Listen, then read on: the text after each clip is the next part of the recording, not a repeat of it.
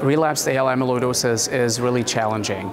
Um, a lot of the patients now are um, refractory to daratumumab, so the um, the management of these patients is very challenging.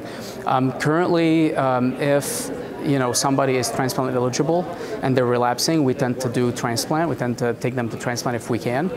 If not, um, the BCL2 inhibitor venetoclax is something that I use in patients with translocation 1114.